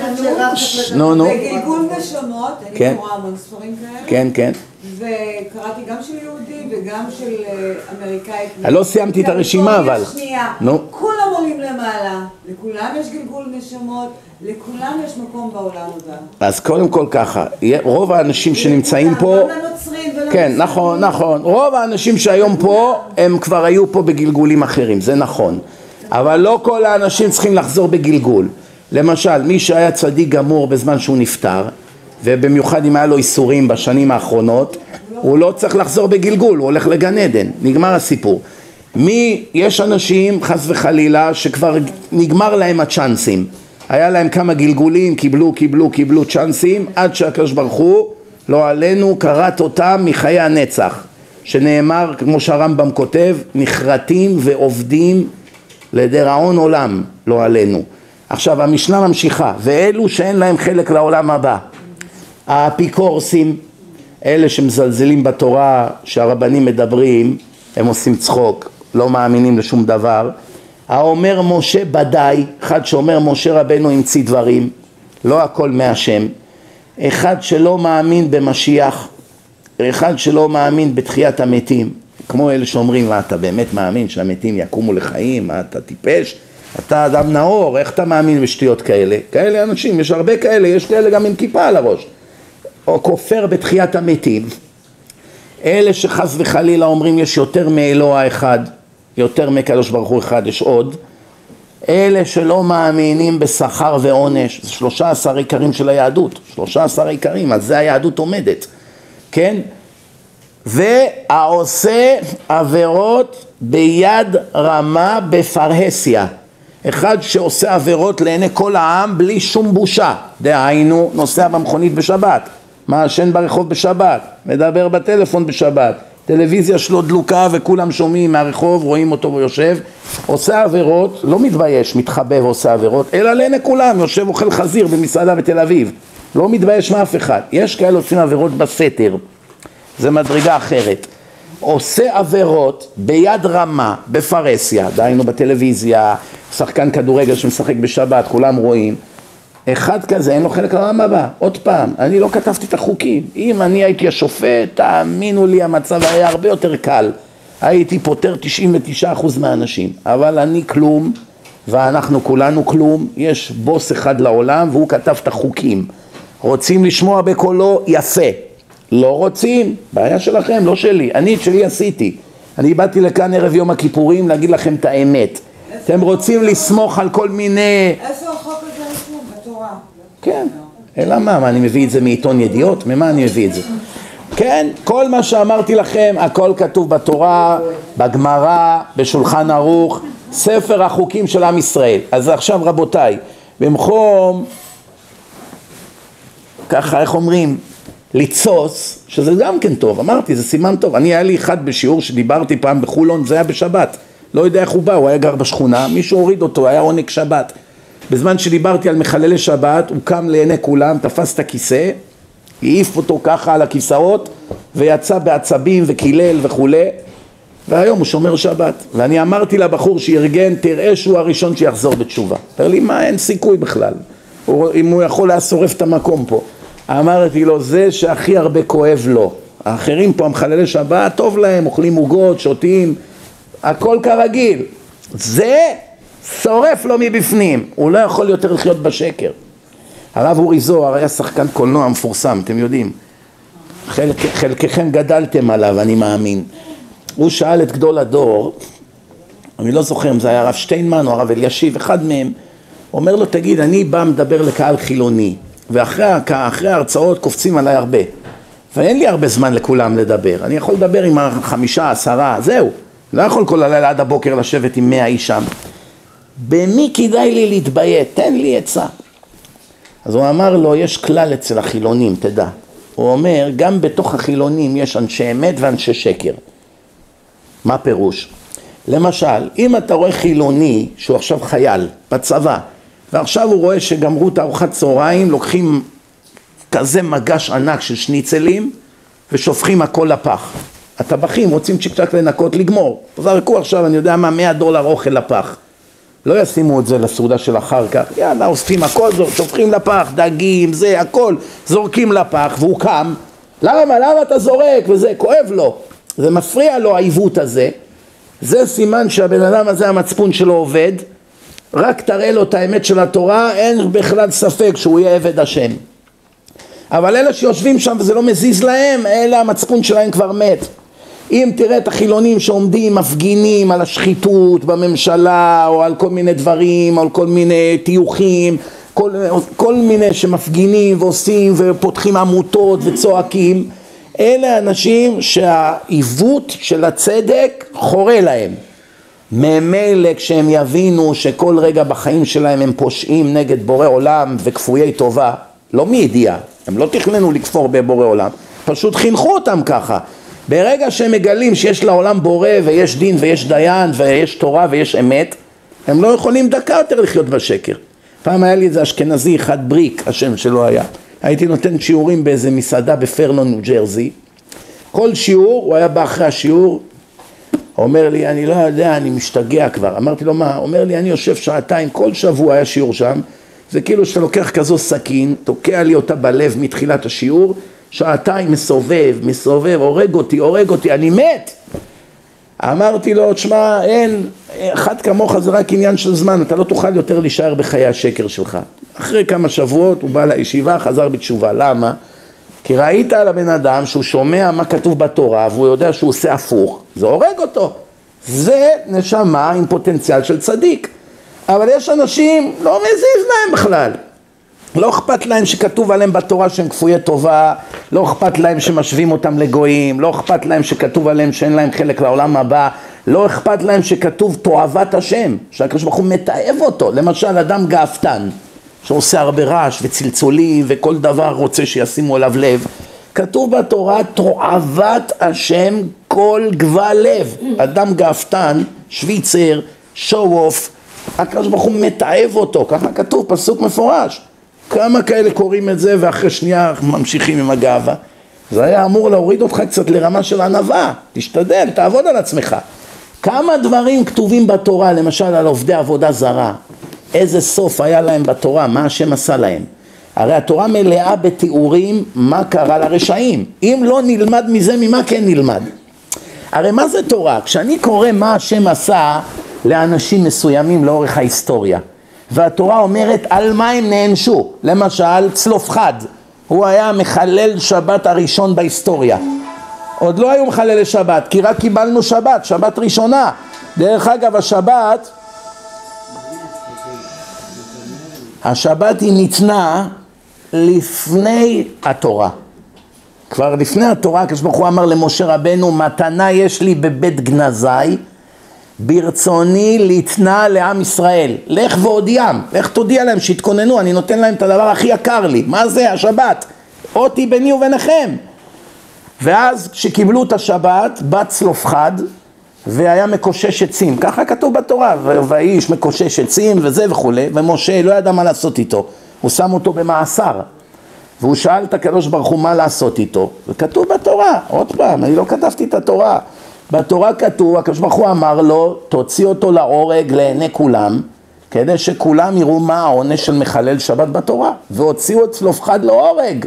זה, פס, זה בתורה, ככה השם אמר לעשות. הוא התנדב, לא, הוא רצה להראות לעם ישראל, מה זה? צלופחד, בסוד של הדבר, הוא באמת אמר, אני אחלל שבת, שיראו מה העונש של מחלל שבת. ואף על פי כן קיבל מוות. מילא הייתי אומר אחד שעושה בכוונה, בשביל הכרס שלו או בשביל התאוות שלו, אז השם אמר, מחלל שבת מות יומת. אבל אחד שעשה בשביל לשמש דוגמה, לפחות איתו תקל. אז מה הוא היה בעצם? אז הנה, אתה רואה שהוא קיבל עונש מוות, זה פסוקים בתורה. מה השם אמר? אתם יודעים שמגיירים את הגויים בבית דין, זה המשפט שאומרים להם. אתה בטוח שאתה רוצה להתגייר? תחשוב אלף פעמים, כי ברגע שאתה נכנס למים ויוצא, נגמר הסיפור. אתה לא יכול לחזור בך יותר. לא כדאי לך. משה רבנו הוציא להורג מחלל שבת. עכשיו מותר לך לעשות מה שאתה רוצה בשבת, אתה גוי. תיכנס או תיכנסי למים, אתה נכנס קריס, אתה יוצא יוסף. את נכנסת קריסטין, את יוצאת שרה. אין יותר משחקים. את בטוחה שאת רוצה, אתם צריכים לראות איך הם בוכים. כל שבוע, יצא לי כמעט כל שבוע לעשות פה גיורים. אתם צריכים לראות איך הגויים, כן, כן, אמשור, אמשור. לא כדאי לך. עכשיו תהיה גוי צדיק, שבע מצוות בני נוח, יש לך גן עדן של גויים. אין לך את כל מה שהיהודים מחויבים בו. חיים קלים הרבה יותר, וגם יש לך גן עדן, עולם הבא, מה? והם לא מוותרים. לא, I want the real thing. I don't want שבע מצוות. פלא פלאים. ואני אני כל פעם עולה לי בראש, ואני אומר, ריבונו של עולם. אתה בא ליהודים, מתחנן אליהם, מראה להם פסוקים מפורשים, לא רק שלא משתנים, עוד מגדפים אותך. ואלה מתחננים אליהם לא לחזור בתשובה, תישאר גוי, רק תשמור שבע מצוות בני נוח, זה קל, מה? זהו, תהיה גוי נחמד, צדיק, מאמין באל אחד, לא אוכל איבר מן החי, לא רוצח, לא גונב, דברים הרגילים, וזהו, אתה צדיק. והם לא רוצים. הייתה פעם איזה גויה, הייתי חודש משכנע אותה לא להתגייר. אומרת לי, כל פעם שאתה נותן לי את הנאומים האלה נגד להתגייר, אתה גורם לי עוד יותר, אני כבר לא יכולה לחכות כבר לגיור. מה רואים מכאן? זהו, היהודים יש להם יצר הרע, אין מה לעשות, זה לגויים אין. עם קשה עורף. ככה נאמר. לכן אני אומר לכם רבותיי, תאמינו לי, תאמינו לי, שאני לא אומר לכם דברים סתם. מה שאני אומר לכם זה אמת לאמיתה וזה מה שכתוב. שומעים? ואני רוצה רק לסכם בדבר אחד, ונסכם בעניין אחד, תשמעו טוב. יש יהודים שמצווה לאהוב אותם, יש יהודים שאסור לאהוב אותם. דוד המלך כתב בתהילים, משנאיך השם אשנא. מי ששונא את השם, מי שמדבר נגד הדת, אסור לאהוב אותו. מי שאוהב אותו עובר עבירה מחוקי התורה. כתוב שחייבים לדון כל אדם לכף זכות, זה רק בתנאי שיש לו חזקה של צדיק. מה פירוש?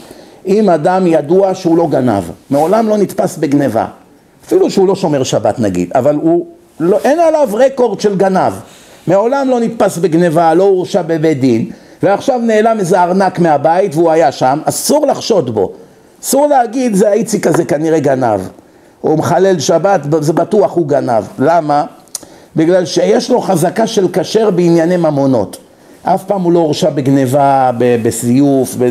אז לכן אנחנו נותנים לו מה שנקרא the benefits of the doubt. אבל אם יודעים שהאיציק הזה כל שבת נוסע באוטו, מעשן, רואה טלוויזיה, מדבר בטלפון, לעיני כולם, זה עשרים שנה מכירים אותו, מחלל שבת, ורואים אותו עכשיו נוסע בשבת במכונית, והילד שלך שואל אותך, אבא זה איציק הזה, זה השכן, מה הוא מחלל שבת? אסור לך להגיד לו לא. תגיד נכון, הוא מחלל שבת, אסור לתת לו כף זכות. כי יש לו חזקה של רשע בעניין שבת, הוא לא שומר את המצוות, רשע זה לא רע, רשע זה פירוש אחד שעובר על חוקי התורה, יכול להיות בן אדם טוב לב, הוא נחשב רשע, יכול להיות אדם צדיק ואין לו לב טוב, מטבעו הוא לא בן אדם טוב, הוא קר, הוא לא רגיש מספיק, אבל הוא שומר מצוות, ויש אדם טוב לב, זהב הלב שלו, אבל רשע גמור, מתגלח ביתר, אוכל חזיר, אבל בן אדם טוב לב, בחיים לא יפגע באף אחד.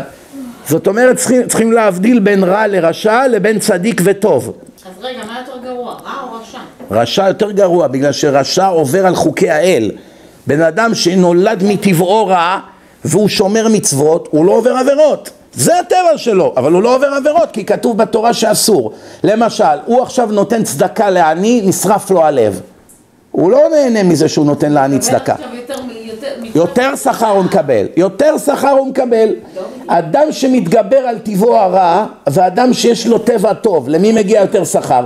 אדם שמטבעו הוא ענב, גם כשהיה חילוני היה ענב, ועכשיו נהיה דתי והוא ענב. ואדם שהיה גאוותן גדול בתור חילוני ונהיה דתי ונהיה עניו, למי מגיע שכר יותר גדול? זה שהיה גאוותן ועכשיו הוא נלחם ביצרים שלו. זה שמטבעו הוא נולד עניו כל החיים שלו היה ביישן, בפינה. זה הטבע שלו, מה, הוא לא יכול להיות אחרת מטבעו. אדם שנולד באיזה בית של הורים, איך אומרים, לארג'ים, כל היום מחלקים אוכל, מתנות, ככה הוא גדל. הוא לא יכול להיות קמצן, זה נגד הטבע שלו, הוא לא מסוגל, הוא יסבול, ולהיות קמצן הוא יסבול. יש אנשים, אבל הם קמצנים מטבעם, אבל התורה אומרת, תן לעניים, תחלק, תן מעשר, הוא נותן ובוכה. הוא כותב את הצ'ק לישיבה ובוכה. מה אתה בוכה? מה אני עכשיו נותן אלף דולר לישיבה כל חודש? אבל מה? הוא מקיים את חוקי האל. לכן צריכים להבדיל. אבל צריכים לדעת טוב מה שאני אומר. יש אנשים, כל בן אדם לפי החזקה שלו. חזקה פירושו למה אתה מוחזק. למשל, אם יודעים אדם מקפיד בכשרות. חילוני, אבל מקפיד בכשרות. לא אוכל במסעדות לא כשרות, בבית שלו חלבי, בשרי וזה, אבל שאר הדברים חילוני גמור. שאר הדברים לא נותנים לו חזקת זכאי, אבל בכשרות נותנים לו חזקת זכאי, כי בכשרות יודעים שהוא מקפיד. אבל בדברים שיודעים, למשל אדם שהורשע בבית דין כמה פעמים על גנבות ורמאויות ועכשיו נעלם ארנק מהבית והיו מאה איש בבית, שהשוטרים מגיעים, צריכים להגיע, השוטרים אומרים, אתה חושד במישהו? אני חושד בו. למה אתה חושד בו? יש עוד מאה אחרים פה. כי הוא, יש לו חזקה של גנב. הבנתם? או אם אדם יודעים עליו שהוא נרקומן, משתמש בהרואין. גם אם מטבעו הוא לא גנב, הצורך הגופני שלו לסם הוא כל כך גדול שאת אימא שלו יהרוג גם. הם לא חושבים צלול. ברגע שנעלם משהו מהבית, שבאה המשטרה, צריך תבדוק אצל הנרקומן בדברים. אה, קו זכות, מה פתאום קו זכות? קו זכות למי שמוחזק לזכאי בדבר, מובן? לא לזרוק סתם סיסמאות בגלל ששמעתם מאיזה אחד שלא יודע א' ב' ביהדות. יש לכל דבר חוקים. מי שמוחזק לאדם כשר בתחום מסוים, או, וזה מביא אותי למה שרציתי להגיד ולסיים בזה. האם יש כזה דבר תשובה חלקית, או שזה או הכל או כלום? זו השאלה שהרבה שואלים. למשל, הנה יום כיפור מגיע עוד כמה ימים. מסתמה רובנו, רובנו ככולנו, לא נעשה תשובה מושלמת. לא נבקש מחילה מכל האנשים שפגענו בהם, אולי מחלק, לא נחזיר את כל הכספים שאנחנו חייבים שלא כדין, שלקחנו שלא כדין, נחזיר חלק. גם על השבת למשל, נגיד שאנחנו עכשיו שומרים שבת, אבל יש לנו איזה דבר או שניים שאנחנו נכשלים בו בשבת למשל, שלא מקפידים בזה כל כך. אז אם חזרנו בתשובה רק על חלק מהדברים, נגיד שיש לנו חמישה דברים בשבת שאנחנו לא עושים כזה, וחזרנו בתשובה על שניים מהם, זה אני מהיום והלאה לא עושה יותר, גמרנו. אני לא נוגע במוקצה יותר, אני לא עושה כך וכך, מקבל על עצמי, מבקש על זה סליחה. אבל שאר הדברים אני יודע שאני אעשה, אני יודע. עכשיו, אז אני לא עושה עליהם תשובה, מה אני רמאי, עומד ביום כיפור ובוכה, חטאתי, אני מחר יש לי כבר תוכניות לחלל את השבת בעניין הזה? האם השאלה, עצם זה שאני עושה רק על חצי מהדברים תשובה, האם זה מועיל או שזה סתם צביעות? מה אתם אומרים? לא, זאת השאלה, שאלה. יש הרבה אנשים שעומדים מהבוקר עד הלילה ומתפללים, ואחרי זה, אתה יודע, the next day it's back to normal. So אז איך אתה מסביר את זה? רוב האנשים הם ככה. אבל, אבל, אבל, דרך אגב, שתבינו גם, קודם כל, הרבה פעמים אנחנו קוראים לאנשים שנחשבים לדתיים צבועים, צבוע, אבל זו טעות חמורה, אני אסביר לך למה. כי יש הרבה פעמים שבן אדם דתי יגיד לך אסור את זה, ואסור, ואסור, ואסור, ואסור, ואחרי חודש תראי שהוא עשה את זה. אז תגידי לו, מה, אתה נותן לי דרשות וזה, ואתה יותר גרוע ממני, נכון? קודם כל זה לא נכון לחשוב שהוא צבוע, כי בזמן שהוא נתן לך את הדרשה, זה באמת מה שהוא מאמין וזה מה שהוא רוצה להיות. יצר הרע יש לכל אדם בעולם. ויצר הרע פירושו, אני אסביר לך את הנקודה רק שתביני. נגיד שיש עכשיו אדם שהוא חזר בתשובה והוא נכנס לישיבה והוא באמת לומד תורה והוא התחזק מאוד, הוא לא רואה נשים, הוא לא הולך למקומות של חילוניות שמתלבשות חשוף, הוא שומר על עצמו. אבל קרה משהו, הוא הלך לאיזה מסיבה משפחתית והייתה שם איזה אחת, פיתתה אותו כל הלילה ובסוף הוא נכשל איתה בעבירה. ולפני חודש הוא נתן לך דרשה, איזה אנשים, איך הם לא מתביישים, חוסר צניעות ועכשיו היה לו את הניסיון והוא נכשל. לדון אותו לכף זכות. או, אז עכשיו, האם נגיד שהאדם הזה הוא צבוע, או שנגיד זה אדם שנכשל בעבירה שהוא לא עמד בניסיון, אבל אחרי דקה הוא כבר מתבייש בעבירה, הוא מתחרט והוא חוזר לישיבה ואחר כך הוא אומר איך עשיתי כזה דבר, זאת אומרת רואים שאפילו אנשים עם חזקת כשרות לפעמים נכשלים, קורה להם שהיצר הרע יתגבר עליהם, גם צדיקים גמורים לפעמים פולטים איזה משפט לשון הרע, זה לא אומר שהם נהיו רשעים עכשיו באופן קבוע, כן, אבל שרואים שבן אדם פרק עול לגמרי לא זה עכשיו שהוא פעם אחת נכשל, אלא ירד לחוף, זהו, כל יום בחוף הים, חוף מעורב. מה קרה? הלך הזקן, ירדו הפאות, הכיפה נעלמה, ויושב עכשיו כל היום בחוף, וככה, ומדבר עם בחורות וזה, אז מה, עכשיו נגיד, אה, טוב, זה חד פעמי. זה אדם שירד מן הדרך. אבל אדם שנכשל פה ושם בניסיונות מסוימים, דרך אגב, גם כתוב כל הגדול מחברו, יצרו גדול ממנו. מה הפירוש? כמה שאדם יותר גדול בתורה, ככה יש לו יצר הרע יותר גדול. הפוך ממה שחושבים. למה? אני אסביר לכם למה הדבר דומה. אדם בא למכון כושר. פעם ראשונה בחיים הוא בא למכון כושר. המאמן, כמה הוא נותן לו להרים? שני קילו. נכון? שני קילו כל יד. אומר, מה זה שתי קילו? מה, אתה עושה צחוק? אומר, שמע, בשביל השבוע הראשון רק שני קילו. שבוע הבא נוסיף שלוש, שבוע אחרי ארבע. מה, אני רוצה שלוש מאות קילו.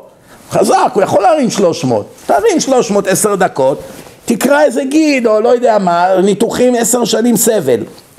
אתה לא כלי קיבול עכשיו לשלוש מאות. אתה צריך להתחיל בשתיים, אחר כך שלוש. עכשיו תארו לכם שהוא כבר שנה במכון כושר, הוא כבר, אה, איך קוראים לו, שוורצנגר הזה, הוא כבר מרים שלוש מאות כמו גרעינים. עכשיו באים נותנים לו ארבע קילו. בוא תרים ארבע. אה, אתה מבזבז לי את הזמן. מה אני עכשיו עושה? אני, אני עד, עד שבוע הבא אני אעשה ככה, לא מזיז לי בכלל. זה לא התנגדות בשבילי ארבע קילו, אני כבר ברמה של שלוש מאות. כשאדם חוזר בתשובה, בהתחלה כל דבר קטן זה ניסיון כמו הר.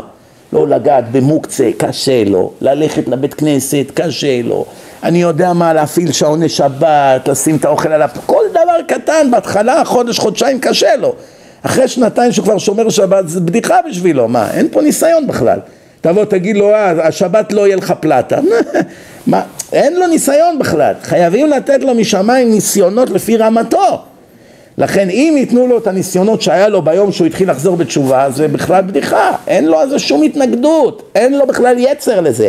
למשל, אדם שהיה אוכל חזירים ושרימפסים, הוא כבר חמש שנים אוכל רק גלת כשר, אם יביאו לו עכשיו חזיר ושרימפס, יש לו יצר הרע לאכול את זה? לא. הוא יקיא על זה. הוא יגיד מה אתה משוגע? מה אתה מביא לי את זה? אל תביא את זה לידי בכלל. אתה מסביר שהיצר שלו יותר גדול, כפי... חייבים לתת לו ניסיונות לפי רמתו. אם עדיין נשאר לו תאווה לאוכל לא כשר, סימן שהוא עוד לא תיקן את הדבר. אז גם זה יהיה ניסיון בשבילו, ודאי. תראו, הרמב"ם מביא דוגמה יפה מאוד. הרמב"ם, כל מילה אצלו היא מדודה כחוט השערה. זה לא אדם רגיל, סופר גאון. אפילו הגויים שמו פסל שלו בוושינגטון, כאחד משמונה עשר האנשים הכי חכמים שאי פעם חיו. אבל תשמעו מה הרמב"ם אומר. הרמב"ם אומר, ואיזה הוא בעל תשובה גמור. מה נחשב שבאמת עלית למדרגה של בעל תשובה רציני? אומר, כגון אדם שהייתה לו חברה, בחור צעיר, לא איזה עכשיו זקן בן שמונים, שכבר גם ככה הוא חסר אונים, אז הוא לא יכול כבר לעשות עבירות. דובר על בחור בשיא תאוותו עכשיו, בשנות הנעורים. יש לו חברה, והוא חזר בתשובה ופרש ממנה. הוא אוהב אותה, היא אוהבת אותו, הם רגילים זה בזה, הכל כרגיל. אבל מה, הוא גילה שזה איסור נידה וכרת, כל מיני דברים כאלה. הוא פרש ממנה. הלך לישיבה כמה חודשים, חזר לעיר, היא מופיעה. איציק, מה נשמע? וואו, שכחת לגמרי, לא שולח הודעות. ההוא, הוא רוצה להתנקות מכל הזיכרונות, כן? עכשיו היא אומרת, טוב, תבוא, ההורים שלי רוצים להגיד שלום, תבוא לכוס קפה, תבוא לקידוש. איך אומרים? היצר מתחיל לברור בו עכשיו. שישה חודשים הוא פרש ממנה, הוא רואה אותה, הוא התגעגע אליה, היצרים נשארים. והרמב"ם כותב, ולא שלא חזר לעשות איתה את החטא בגלל שהוא זקן או חולה או תשוש או לא יודע מה, אלא עומד בתאוותו אליה ולא עשה את העבירה, הרי זה בעל תשובה גמור. אז אני שואל אתכם שאלה, ומה אם הוא עדיין אוכל לא כשר? הוא התגבר על התאווה לחברה שלו, נו. והוא עושה עוד עבירות, אולי הוא מדבר לשון הרע, אולי הוא עושה עוד דברים אחרים. מכל הדברים הרמב"ם מביא את הדוגמה שהכי קשה לעמוד בה. שאם בן אדם יכול לעמוד באריות, הוא יכול לעמוד בהכל. זה שהוא לא עומד זה בעיה שלו. אבל אם הוא יכול לעמוד בזה, בכל ניסיון הוא יכול לעמוד. מה פירוש? אין אפוטרופוס לאריות, ככה כתוב. שהרבנים הכי גדולים בהיסטוריה אמרו על עצמם שאם הם היו בניסיון מסוים הם היו נכשלים בו. זה כתוב בגמרא. אביי, הוא שמע שבחור ובחורה, הבחורה מבקשת ממנו טרמפ. ואז היה עגלה וסוס ולא היה חשמל והיו הולכים בין העצים בחורשות מקומות שהיצר הרע חוגג שם, כן? אביי שמע ככה, זקן, הוא ראש ישיבה, הוא נותן שיעור, הוא צריך ללכת לישיבה לתת שיעור. והוא אמר מה הם יצאו בארבע בבוקר, בטוח הם יעשו עבירה הבחור והבחורה. אני חייב לעקוב אחריהם לשמור. שאם יבואו לעשות עבירה אני אקפוט הוא עקב אחריהם שעות, שעות, שעות בסוף הגיעו לצומת דרכים, הבחורה ירדה, לא נגעו אחד בשני, דיברו רק דברי תורה, הכל היה כשר למהדרין. הגיעו לצומת, תודה רבה, השם יהיה בעזרך, השם יהיה בעזרך, שלום, שבוע טוב, היא פנתה ימינה, הוא פנה שמאלה והלכו. מה עשה אביי? נפל על הרצפה, התחיל לבכות. בא איזה אחד, רואה גדול הדור, תארו לכם עכשיו, אחד כמו הרב עובדיה יושב בחולות, עכשיו בוכה, מה קרה כבוד הרב, תקום, מה אתה בוכה, מה קרה? ישר אתה נבהל, רק מהמראה. אומר לו, אתה רואה את הבחורה ההיא שם? כן. אתה רואה את הבחור ההוא שם? כן. אני עוקב אחריהם שעות, כל הדרך. נו, נו, מה קרה? הוא חושב כבר מי יודע מה עשו. מה קרה? נו, נו, מה? אומר, כל הדרך לא עשו עבירה. הוא פנה שמאלה ימין, לא נגעו אחד בשני, לא כלום. בחורים צעיר, בחור צעיר ובחורה צעירה. אומר, אז הבחור אומר לו, נו מצוין, אז מה אתה בוכה? תשמח, איזה צדיקים יש לך בעם. הוא אומר, אתה לא מבין, אני לא בוכה עליהם, אני בוכה על עצמי. כתוב בתלמוד, אם אני הייתי נותן לצעירה הזאת טרמפ, אני הייתי נכשל איתה. זה כתוב בגמרא. עכשיו, אם היה אומר את זה בדור שלנו, הרב עובדיה בדרשה, מה היו אומרים אנשים? איך הוא אומר כזה דבר? מה זה, זה גדול הדור? מה? איך הוא מסוגל להגיד כזה דבר? שומעים? מה רואים מכאן? כל הגדול מחברו יצרו גדול ממנו, אין מה לעשות. כי השטן מנסה להפיל בן אדם בדברים שבפעולה אחת הוא נופל בגדול. כי הוא מה, הוא לא ישכנע אותו לעשות עבירות קטנות. הוא חייב לתת לו ניסיון, לפעמים זה בכבוד. הרבה פעמים רואים שני חכמים גדולים רבים אחד על השני על ענייני כבוד. פעם היה הפוך, פעם אחד היה משכנע את השני, לך מגיע הכבוד. היום לפעמים, מה זה, לא כיבדו אותו, הוא לא מוכן להיכנס, כי לא נתנו לו מקום על הבמה. כל מיני דברים טיפשיים כאלה, אבל הכבוד משחק הרבה תפקיד. אני רוצה רק לסיים, אני אומר לכם רק לסיכום, תדעו לכם דבר אחד, תשובה חלקית כן עובדת. גם לתקן חלק זה כבר פתח לי פתח כפתחו של מחט. כל אחת מכם וכל אחד מכם, תשתדלו להשתפר בכל מה שאתם יכולים, יש לכם את כוחות הנפש, אם זה בצניעות, אם זה בלבוש, אם זה בצדקה, אם זה בכשרות. אפילו שחלק מהדברים לא כל כך קשה, יש מצוות קשות, יש מצוות קלות. אפילו את הקלות תתקנו, דברים שאתם לא עושים כרגע, וזה באמת קל, מה ה big deal? לאכול כשר, בינינו, כל חנות שנייה פה היום זה כשר, כל מסעדה שנייה פה זה כשר. זה, זה קשה לא להקפיד בכשרות? מה הבעיה לקנות בשר כשר? משלמים עוד קצת כסף. ברוך השם רוב הישראלים יכולים להרשות לעצמם, לשלם עוד, עוד 100 דולר בחודש על בשר. זה לא סוף העולם, כן? דברים כאלה זה נחשב קל. אחד שלא מניח תפילין, מה זה שתי דקות ביום להניח תפילין להגיד שמע ישראל? מה ה big deal? זה לא כל כך קשה. יש מצוות שממש הן קלות והשכר שלהן ענק. וגם בזכות זה שבן אדם יתחיל, השם יעזור לכם הלאה. ואני רוצה לתת לכם גם עוד עצה לחיים, לפני שאתם הולכים או הולכות לישון כל לילה, יש בסידור שמע ישראל. לפני שאתם הולכים לישון, תגידו שמע ישראל, השם אלוקינו, השם אחד, תקראו עד השם אלוקיכם אמת. זה עמוד וחצי, זה אולי שתי דקות. ואיך שאתם גומרים את הקריאת שמע לפני שאתם נרדמים, תדברו עם בורא עולם בשפה שלכם לכמה דקות עד שתירדמו. תדברו, אתם במיטה, בלחש, לא צריך אה, רעש וצלצולים, אפילו אפשר, אפשר תוך כדי שכיבה אפילו. להגיד לבורא עולם, אם לא צנועות או כותונת לא צנועה, אז להתכסות בשמיכה, גם גברים, לדבר עם בורא עולם ולהגיד, ריבונו של עולם, אני כרגע, או אני, גבר או אישה, לא חיים על פי חוקי התורה, מסיבות שכל אחד והסיבות שלו. אנחנו כן רוצים לחזור בתשובה, להיות קרובים אליך, לראות את האור, את המתיקות של התורה, רוצים לזכות לחיי העולם הבא, רוצים לעולם לא להכעיס אותך. בבקשה, תן לנו את הכוח ואת הסיוע לחזור בתשובה מלאה מתוך עושר, לא על ידי מחלות ולא על ידי הפסדים ולא על ידי צרות, אלא בשמחה ובטוב לבב. זה מה שתדברו. ותראו איך תוך חודשיים שלוש כל החיים שלכם לאט לאט משתנים ואתם לא תרגישו אפילו, בלי להרגיש כלום, פתאום אתה כבר שומר, פתאום אתה נהנה משבת, פתאום אתה נהנה לבוא לבית הכנסת, פתאום כיף לך להניח תפילין, פתאום את מתלבשת יותר צנוע, מה, איך אני נהייתי כזאתי צנועה, אני בחיים שלי לא האמנתי כזה דבר. כל הדברים האלה צריכים לבכות לקדוש ברוך הוא, תדעו לכם את זה.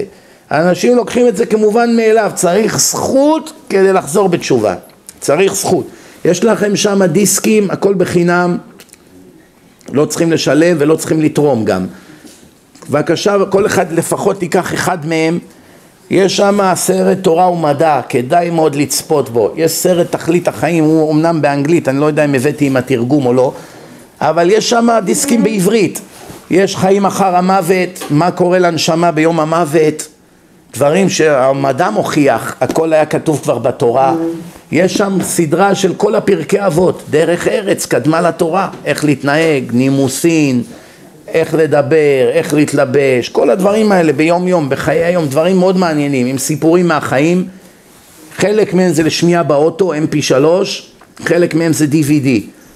תצפו בזה, תקשיבו לדרשות, אין שום דבר שימנע מכם להתקרב לקדוש ברוך הוא. מי שלא ישמע או שלא תשמע, אין כזה דבר, השיעור הזה יישכח, עוד יומיים שלוש, חוזרים לשגרה, נגמר הכל. אבל אם אתם תתחילו לשמוע במכונית הרצאות, זה יחזק אתכם ויקרב אתכם. תודה רבה, שנה טובה לכולם, גמר חתימה טובה, כל טוב.